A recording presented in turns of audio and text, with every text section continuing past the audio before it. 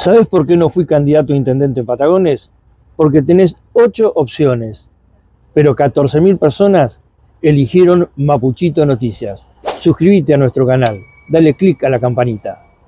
En Río Negro vamos a actuar con mucha firmeza, de hecho ha habido eh, algunos, eh, en, algunos lugares alguna instigación a cometer este tipo de delitos y han sido eh, tratados con mucha dureza, hay personas detenidas por intento de instigar a generar este, estos delitos. Así que estamos trabajando con las fiscalías en cada localidad, estamos trabajando con la procuración eh, para poder prevenir, asimismo junto a las cámaras empresariales, estamos teniendo distintas reuniones con las cámaras empresariales en las distintas localidades.